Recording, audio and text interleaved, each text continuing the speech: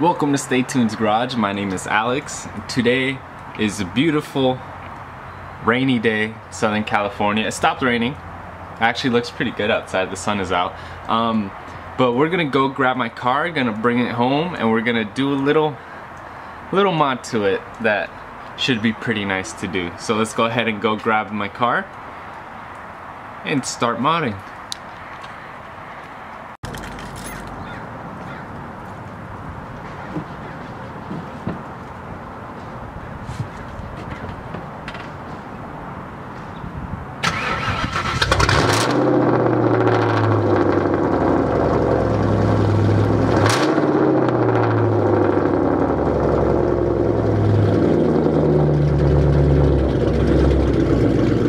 Alright, uh, there's a slight change of plans. My sister just got home and she parked in the empty spot we had at home in our driveway. So I cannot do this at home, so I'm just gonna go do this where I park my car. Um, so yeah, what I am doing today here, we can do like a little unboxing. So here is what we're doing today, and luckily I don't have to jack the car up. I don't have to uh, do any really annoying stuff like put the car on jack sense or anything. It's a pretty simple mod that should increase the driver feel by a whole bunch and be a very good uh, driver mod. This right here, eh. let's, use our right hand. Here I have a Steeda Tri-Ax short throw shifter. Um, so most of you should know what this is. Just, well, by clicking the video probably says something about this, but basically what this does is, if you look over here at my shifter, that throw, you see that how it starts over here? First over here, second all the way over here. That should reduce this by like, I think it said like 30 or 40%. So it's gonna go like, it's gonna go from like here to here. Or like, like there to there. Like it should be a lot shorter and what that'll do is it will easily it it um instead of if you're in first gear shifting to second it'll take a lot less if all you have to do is this than if you have to go all the way this way. Um and another thing is with my shifter um the there's supposed to be a spring in the shifter that if let's say i'm i'm in neutral it should keep it in the middle and if I like bring it this way it'll bring it back but as you can tell mine is not there anymore. Yeah it's supposed to do this over here as well but it, it doesn't. So sometimes it I've noticed I like grind gears when I'm I don't like I feel I'm doing it right but I don't. Uh, I don't know if this is the reason. Maybe I'm just I'm used to driving that car a Honda stick. So you know um, it could just be me um, so yeah, I'm gonna go ahead and start taking this apart and we'll go ahead and get started on the install. All right, so simply I'm gonna start this by unscrewing the shift knob. I already loosened it off camera so I don't look like a little, like a little wimp. um, oh, there you go, just like that. Um, then uh, if you're working on this generation Mustang, this little trim here should just pop out. And you just pull it out like that. Um, you, you can unclip that, uh, but I just kind of, wait, yeah. Just unclip it in the back, just like that. And throw that away, make sure you don't break it, because then you'll be, find yourself buying a new piece. And then in here, we're gonna have four bolts we're gonna have to remove. We have one right here. We have one over here, one in each corner, pretty much. So I'm gonna go ahead and get the right sockets for that and start removing it. Okay, so I began on the journey of getting all of these bolts out. Um, I found that 8 millimeter and a 5 16th socket both work just fine. So yeah, just power through that, get all of four out, and then we're gonna uh, before we take this little boot off I'm gonna I'm just gonna go ahead and get these two out so I'll get those out and then I'll, I'll start working on these and I'll give you guys another little update Alright, so I got all four bo uh, bolts for this little boot off. Um, now I'm just gonna go ahead and take these two. Uh, so these both are 10 millimeter bolts. So just 10 mil, take both of these off and then this, the shifter handle right here will come off and along with the, the bushing for it. So just take both of those off and put them to the side and then you'll be able to uh, take this whole uh, shift boot off and then you'll be you'll have the actual shifter mechanism in there that you can take off and replace. Alright, so we got the shifter assembly off, just took off the two bolts and just took it off. It's a little stuck on there, um, just because it's rubber and it likes to like stick to stuff, whatever.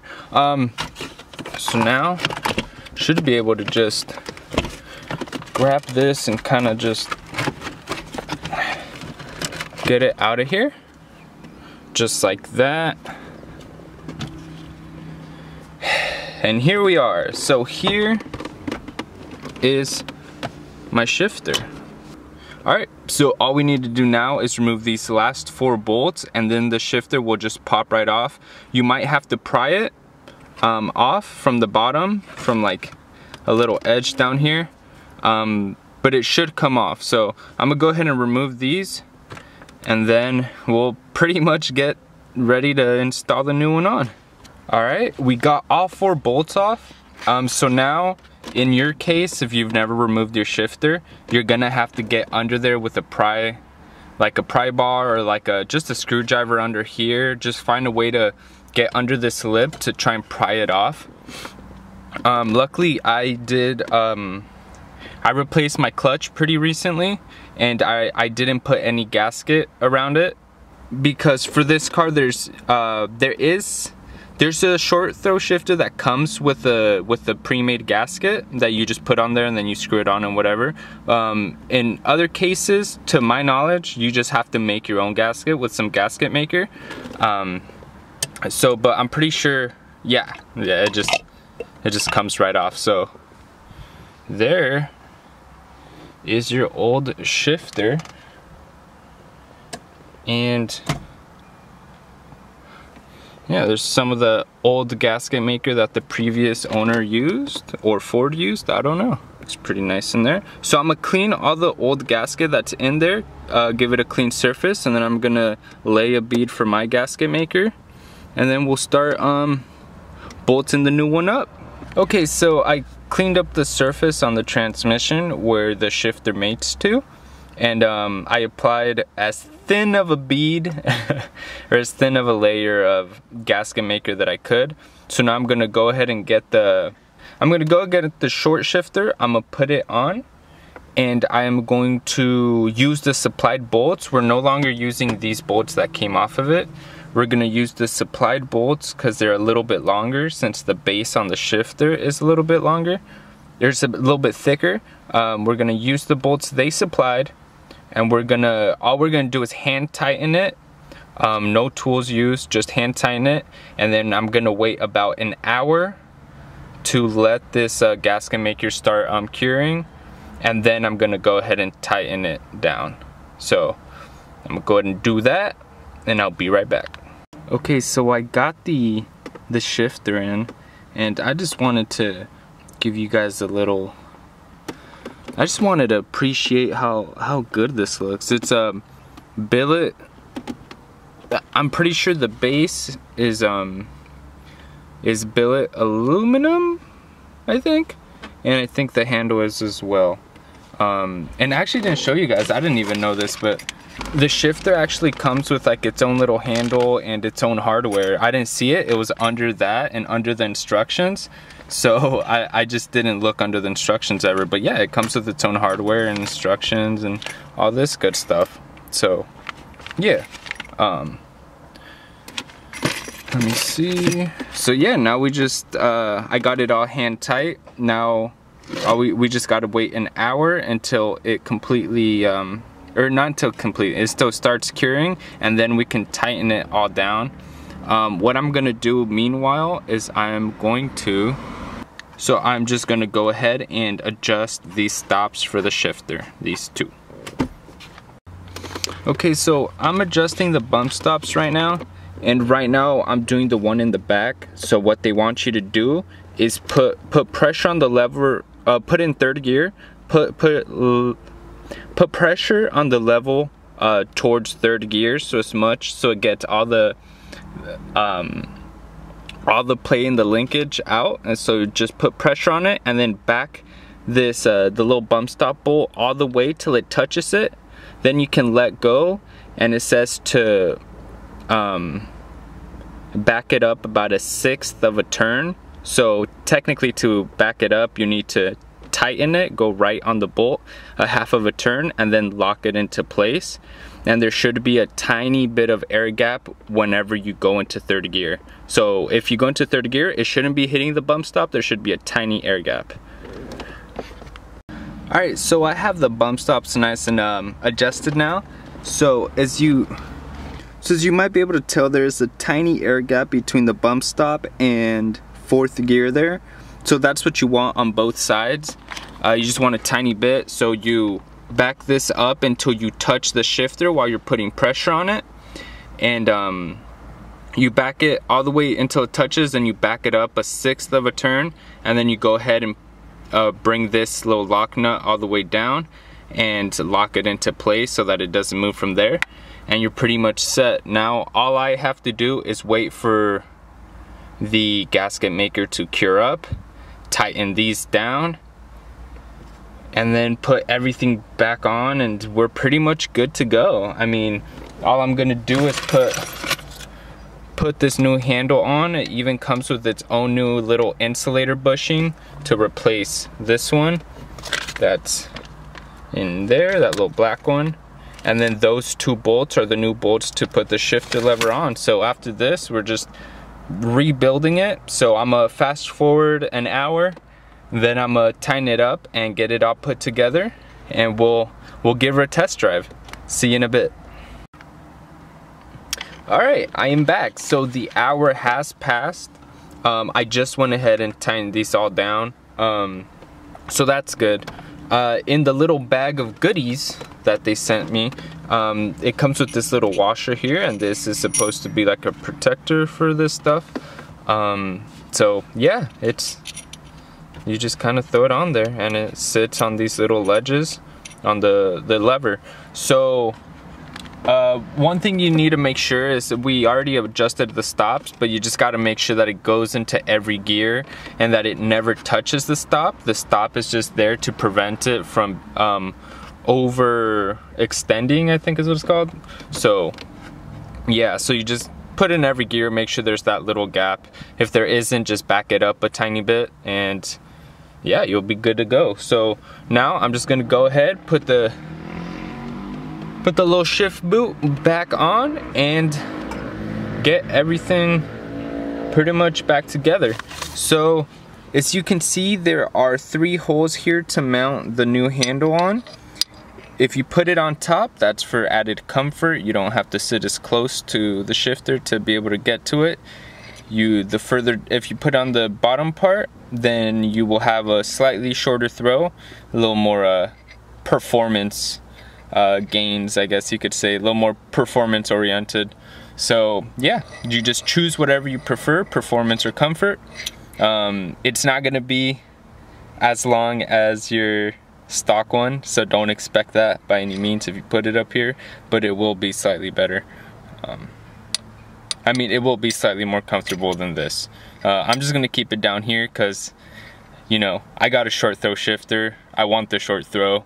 That's the whole reason why I got yeah. So I don't care about comfort as of now. This is my this is this is the project car. This is no daily driver. So we're gonna put it in in sport I guess you could say and we're gonna send it.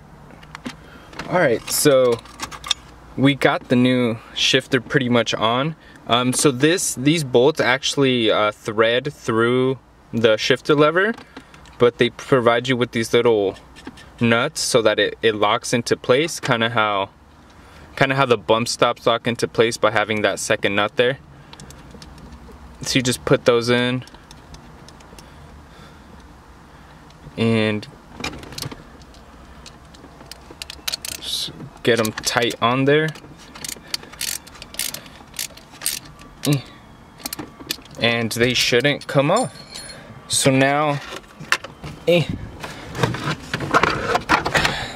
Now all we've got to do is put that, that clip back onto our cigarette lighter there, uh, put this back on and put the shift knob back on and we're pretty much good to go. And here she is in all her glory. Ooh.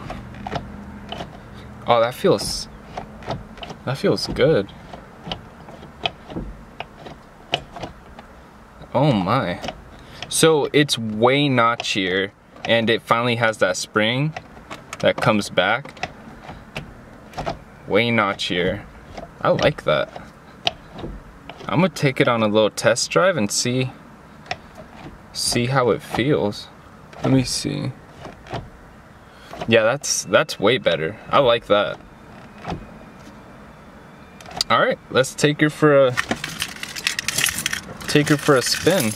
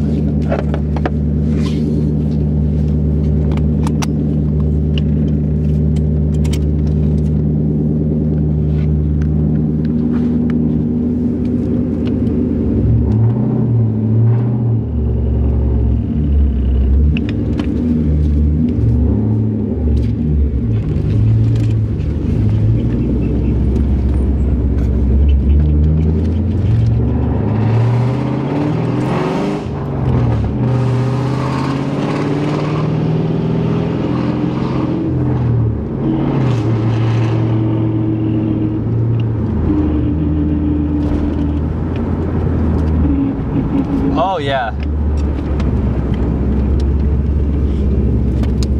That does it.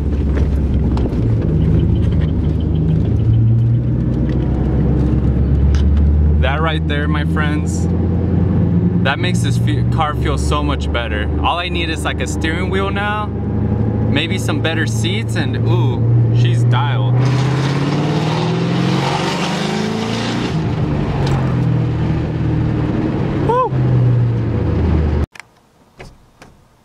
All right, so install is complete. I love the way it feels. I really do.